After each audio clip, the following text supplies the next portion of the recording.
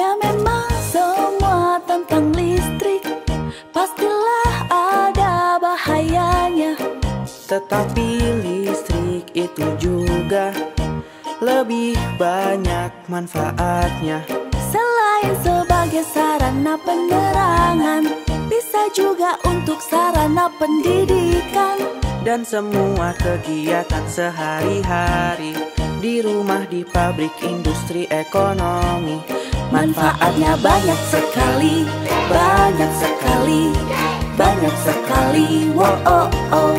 Manfaatnya banyak sekali, banyak sekali, banyak sekali, wow oh oh.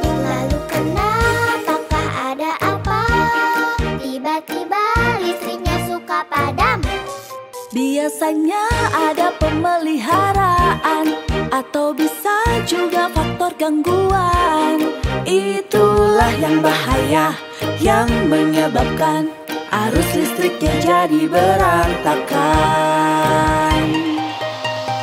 Ingat-ingat himbauan tentang listrik agar selalu waspada resikonya.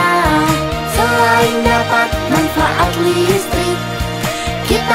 harus hindari hal yang bisa membuat bahaya akan listrik.